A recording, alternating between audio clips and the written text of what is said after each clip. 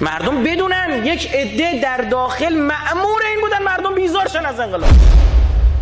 معمور بودن مردم خفه کنن. معمور بودن یه کاری کنن مردم دیوونه شن. بگن این چه اسلامیه؟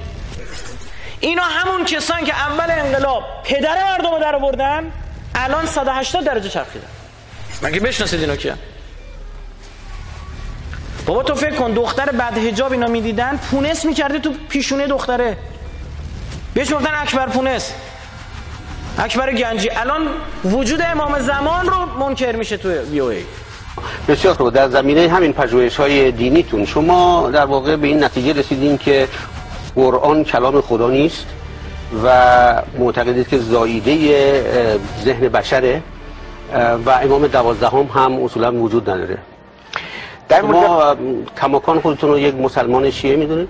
هیچ گونه شاهد تاریخی برای وجود فردی به نام امام دوازدهم وجود نداره. با رفیقاش هستن. همین مخمل بف می‌دید چی کار کرد با امثال ناصر ملک مطیع و اینا؟ این اونا اینا رو خونه نشین کرد. فردین این خونه نشین کرد خدا شاهده.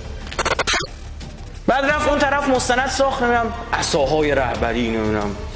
پیپ های رهب کلکسیون پیپ عصا اسب نمی‌دونم دری وریایی که داده اون وریا در اومد. گفتن بابا دیگه چرت و پرت نگو دیگه.